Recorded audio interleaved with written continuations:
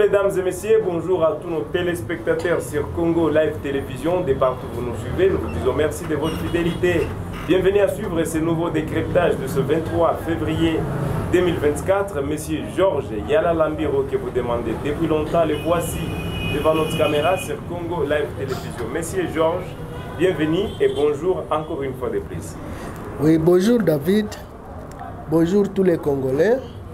Bonjour les amis, spécialement tout d'abord mes amis de Sake, les amis de Mugunga, les amis de la ville de Goma, les amis de la province du Nord Kivu, plus particulièrement mes frères de Oicha, Wicha, Maimoya, Eringeti, Kamango, Kasindi, Nobili. Je n'oublie pas les amis de Beniville. Je vois les amis de Beniville. Je vois les frères de Boutembo. Boutembo, les Bibolais. Abana Babaïra, je vous salue. Ah, Monsieur Georges, Oui, oui, oui. la ville de Goma, pour commencer, comment elle se porte aujourd'hui, c'est vendredi 23 février? Euh, la ville de Goma est totalement calme. Seulement un incident a été enregistré la nuit d'aujourd'hui à Sake. Le M23 Rwanda avec ses alliés, les Ougandais, les autres, ont voulu encore surgir la cité de Sake. Malheureusement en vain. Ils ont cru que nous, les, les militaires étaient déjà endormis. Ils ont cru que les militaires sont des civils qui s'endorment dans les maisons, mais ça n'a pas été le cas. On les a, on les a percés comme, hein, c'est comme des feuilles de bananier. On les a percés effectivement. Et tous cadavérés, comme l'autre les chantait. Les militaires cadavérés. Donc ils sont morts comme des mouches. Kagame, vous ne, vous ne serez même pas fatigué. Museveni, vous êtes en train de faire, de faire mourir les enfants d'autrui gratuitement. Alors que les tiers sont en Angleterre, à Londres. Amenez aussi tes enfants, amenez- les am- amenez-les sur les lignes de front. Mon cher, la cité de Sac a été encore le théâtre des affrontements hier, de 21h à 1h du matin. Malheureusement, les Munyarwanda et ses alliés ont été saccagés jusqu'à les ramener vers Malais, très loin là-bas. À peu près combien de kilomètres Non, c'est environ 7 km longue de la cité. Ils ont voulu surgir à Kimoka. Kimoka, c'est à 5 km de la cité. Vous savez, Kimoka, c'est lui qui connaît la cité de, de, de Sake. Kimoka, c'est sur la route qui mène vers Kilolirwe, ferme de l'espoir. Arrivé à Kimoka, ils ont, ils ont débordé les collines là-bas, ils ont fait, ils ont fait les vallées là, dans- dans- dans la ferme de, de l'autre ici, c'est pas Kamanzi. Mais un peu après, ils, ont, ils, ont, ils, se sont retrouvés sur la route au goudron qui mène vers chez Kabila là-bas. Ils ont cru que nos militaires étaient endormis parce que une partie des militaires se trouve aussi au-delà de là, vers Kabati là-bas très loin. Mais ils ont, cru, ils ont voulu venir percer notre ligne. Mais heureusement, nos FRDC, trop forts, trop prudents, ils ont réellement donné la mort aux Rwandais. J'ai dit aux militaires, Kazinjema, bon travail. Wazalendo, bon travail. Le fait de larguer toutefois les bombes dans la cité de Saké, dans la ville de Goma et autre part, ce mouvement M23, qu'est-ce qu'on peut comprendre de ce fait? C'est-à-dire, c'est une stratégie de faiblesse.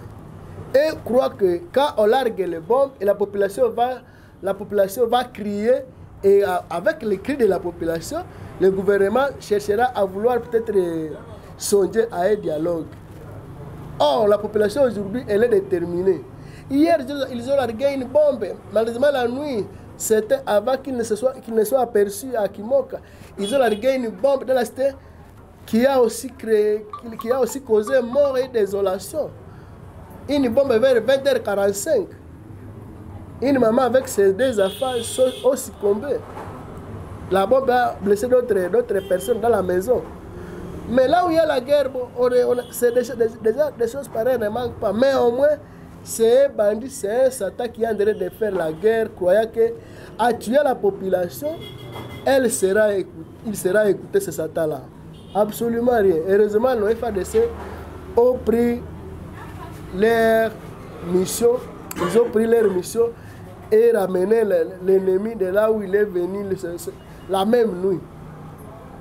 Ce matin, cadavres des Batutsi, des Banyarwanda, des Baganda, voire même des Somaliens, des Kenya. Les cadavres gisent là-bas. Avec ce pays, c'est lui qui voudra faire de ce pays sa colonie d'une manière forcing. Il se retrouvera toujours faible devant la population congolaise parce que aucune nation d'aujourd'hui ne peut encore accepter que nous soyons dans ce qu'on appelle l'emprise du diable. Aujourd'hui, nous avons déjà monté la manière de faire. Les Ouazalènes, comme notre président l'a dit, les Ouazalènes font un grand travail. Ce sont des héros vivants. Les FRDC qui ont déjà appris une nouvelle technique. Les FRDC avec euh, tout cet, équipement vraiment bien sophistiqué. Ne vous hasardez plus. Bien que vous avez même infiltré la ville, nous avons appris qu'on a arrêté beaucoup, beaucoup déjà à travers la cité, à travers la ville de Goma, même dans les rangs des militaires. Parce que vous, vous croyez qu'après avoir infiltré les services, vous auriez une facilité d'entrer dans la ville ou dans la ville, dans la cité de Sac, ou peut-être dans quelle autre localité, même à Boueremana. Ça n'a pas été possible. La cité de Mayanga. Boulemana, qui Mayanga. est là, M23 et FARDC. Non, non, non, non, non. Il y a Mayanga, Mayanga, il est là. Comment un 23 ne peut plus? Cette ligne qui va vers Boueremana, cherche à Boueremana, les 23 ne sont plus là. Ils étaient là sur les collines. Et sur les collines, on les a cherchés sur les collines. Parce que quand ils logeaient les collines, ils larguaient encore des bombes sur les camions qui voulaient traverser. Et à un moment donné, on a fermé la route parce qu'on ne voulait pas exposer aussi la population à la mort. Pourquoi? Parce que ces amis-là, ils détenaient, donc ils se, se perchaient sur les, les, les sommets de ces collines qui surplombent la route au bord du lac. Mais peu après, on les a chancés de tous ces milliers-là. Ils ont voulu maintenant venir déborder vers Sac. Nous les avons donné la mort hier. Hier même, les avant-midi, ils ont voulu même surgir vers, euh, vers Kibumba, vers Kany- Kanyamaoro là-bas. On les a donné la mort comme pas possible. Et moi, je me demande, et ces gens, qui les envoie à la, guerre Qui les envoie à la guerre N'est-ce pas que il, il- il- celui-là qui les envoie à la guerre, il ne sait pas que ce sont des, humains. Est-ce que vraiment, aujourd'hui, on ne sait, vraiment pas plus respecter les droits de l'homme? Ces gens-là qui nous disent de donner des leçons des droits de l'homme, les patrons de Kagame, ils ne savent pas que les, Congolais ont droit aussi à une bonne vie. Les Rwandais qu'on envoie à la guerre ont droit aussi à la vie. Pourquoi envoyer les gens pour aller mourir? Est-ce qu'un Européen peut, peut envoyer ses enfants pour venir mourir en RDC Pourquoi les Européens ne veulent pas aussi envoyer leurs enfants? Ils viennent de, de Paris, de Marseille, de Londres, de Chelsea, disons de, de, de, de, de- de Manchester, qu'ils viennent, ils viennent aussi faire la guerre ici. Nous allons les voir aussi faire la guerre. Est-ce qu'ils peuvent amener leurs enfants ici pour la guerre? On va parler des nouveaux nominations, nouvelles nominations au CDM 23, mais un 23 qui vient avec une nouvelle force. Certains confirment écrasante et d'autres confirment que c'est fini pour les M23. Nanga Corneille a été désigné coordonnateur politique, Sultani Makenga coordonnateur militaire et Bertrand Bissima qui était le président du parti est devenu coordonnateur adjoint. C'est du n'importe quoi. C'est un non-événement. Nous connaissons Pour la Nanga. première fois, Nanga a été aperçu en état habillé de la tenue militaire. Donc il a, Au il a, Nanga était un militaire. Nanga n'a jamais été militaire. Moi, je connais le village de Nanga.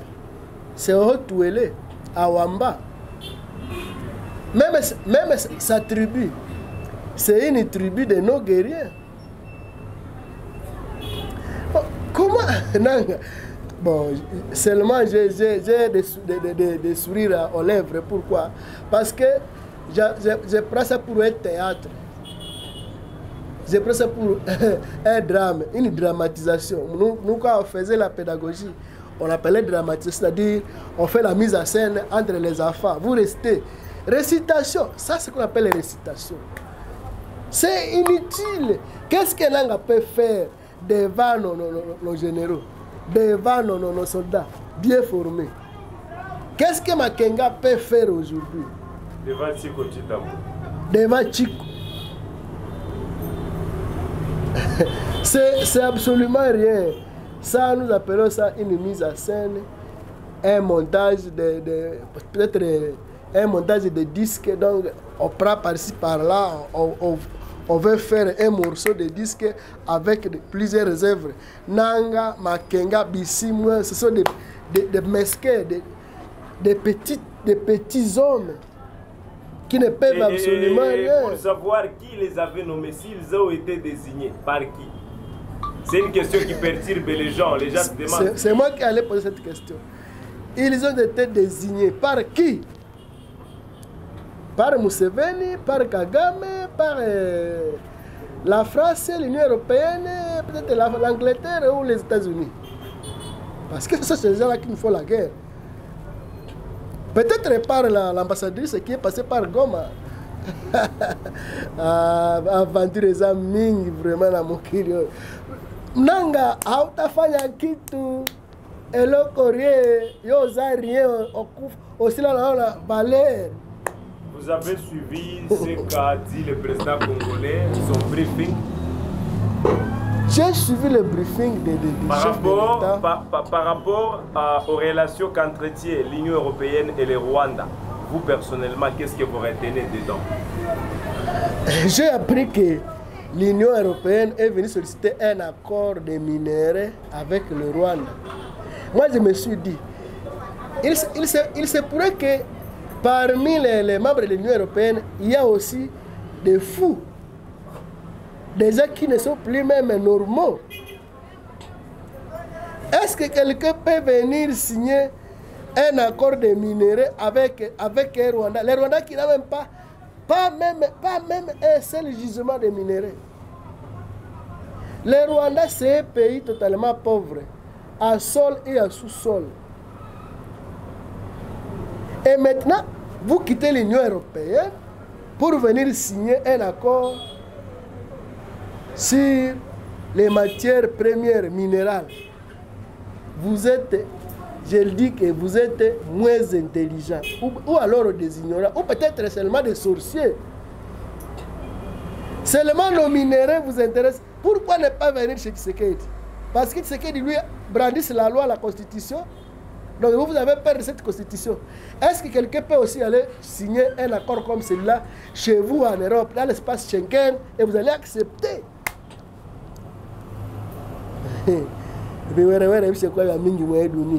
Vraiment, je ne sais plus.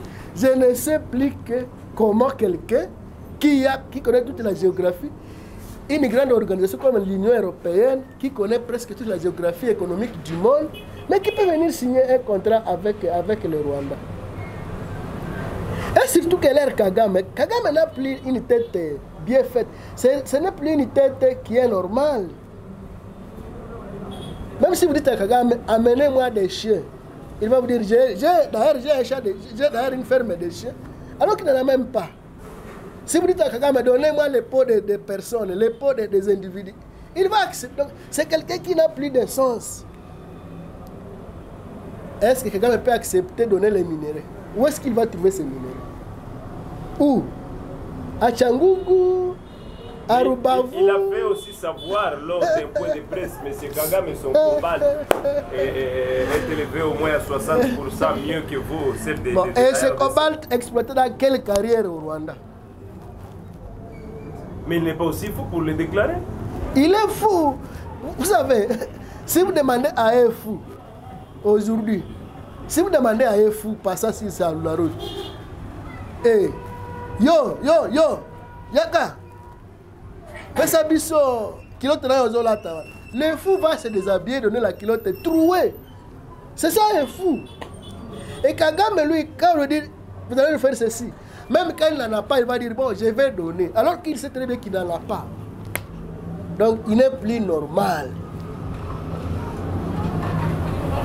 Si ce n'est pas pour venir nous tuer, voler nos minéraux ici, et puis les amener au Rwanda. Mais, Yambala oyo, bakolonga. Basakana na kabila faci ye aza motu mosusu. Akola na mikili ya mindele. Ayebi ayebi mayele ya mindele. Akola na mikili ya mindele ayebi mindele mais il a promis la moindre escarmouche jusqu'à présent l'a pas oh tu es encore très loin mon frère. La moindre escarmouche. Là, il est revenu sur ce point là vous ne trouvez-vous pas que le, le, le, le- le Rwanda est maintenant aujourd'hui en train de, de, de, de, de ne plus peut-être. D'ailleurs, je, je il semblerait que Kagame ne passe plus la nuit chez lui. ah non Tshisekedi, non ça sont les propos qu'avait déclaré le président il, congolais mais c'est pas il vrai. semblerait au conditionnel quand même. Comprenez bien. Pourquoi? Parce que c'est très bien que à n'importe quel moment, le ciel pourra tomber sur lui. Et ne prenez pas les, les, les, les, mots des politiciens à la lettre. Quand il parle de moindres escarmouches, peut-être c'est d'une autre façon. Pourquoi Kagame n'a pas voulu livrer la guerre avec le Burundi alors qu'il il a commencé à, atta- à attaquer le Burundi? Il a trouvé que ah, j'ai attaqué là où il ne fallait pas attaquer. Parce que peut-être que la moindre escarmouche viendrait de, de, de ce, de ce côté-là. Aujourd'hui, moi je vous dis, je vous jure, les Blacks qui signent encore des accords avec Kagame, c'est comme s'ils sont devenus comme Kagame. Donc, une déficit mental est devenu viral dans sa tête. C'est comme, il n'y a plus de raisonnement. Qu'est-ce que le gouvernement attend, euh, attend? Le gouvernement congolais, qu'est-ce qu'il attend Je pense que pour Félix- ne plus collaborer avec l'Union européenne? Pourquoi ne pas expulser directement l'ambassadeur de l'Union européenne Bon, à je- je Kinshasa pense que à Est-ce chaque- qu'on peut dire que le gouvernement congolais a aussi peur à ce niveau? Je pense qu'à chaque chose, il faut toujours une procédure. Ce n'est pas parce qu'il y a un fait. D'ailleurs, le chef de l'État a été clair là, il a dit même certains pays de l'Union européenne ne sont pas d'accord avec cet accord. Pour vous dire qu'il y a encore à faire. Et le président a été clair je vais multiplier la diplomatie pour que cette histoire fane, pour que cette histoire n'aille pas très loin. Et c'est juste. Je ne vois pas quelqu'un qui peut venir perdre son argent au Rwanda croyant qu'on va lui amener des minéraux. Il n'y en aura plus. Les Rwandais Les minéraux de Rubaya. Les ont c'est- toujours collaboré avec plusieurs pays à les offrir des minéraux. C'est pas aujourd'hui que. C'était à l'époque. C'est parce qu'on prenait les minéraux gratuitement, on les amène là-bas. C'est pour ça que vous dis, Yambala, oyo, ekoleka sous terre. Ils ont cru que c'est encore au Rwanda qui y a encore la route des minéraux. Les minéraux venaient de Rubaya par Mwangachuchu. Mwangachuchu, utaozea en prison, mzee. Mwangachuchu qui offrait des minéraux passait par le Rwanda. Il y avait Sakima qui, qui prenait les minéraux, les amenait au Rwanda. Vous connaissez Sakima C'est une société minière de Maniema. Sakima qui prenait les minéraux. Il y avait Bandro qui prenait les minéraux. Donc toutes ces sociétés-là passaient toujours par le Rwanda. Mais actuellement, non. La porte de sortie n'est plus le Rwanda. Ils doivent venir en RDC, à Kinshasa, signer les accords et ils auront des minéraux encore bien négociés.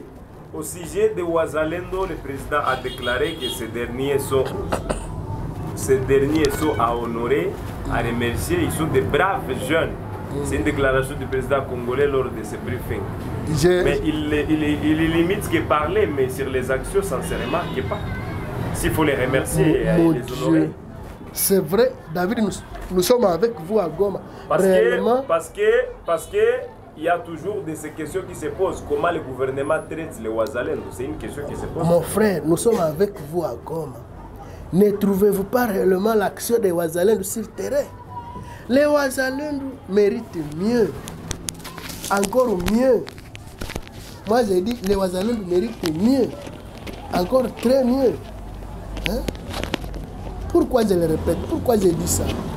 Les Ouazalendou méritent mieux, encore mieux. Quand par exemple dernièrement ici,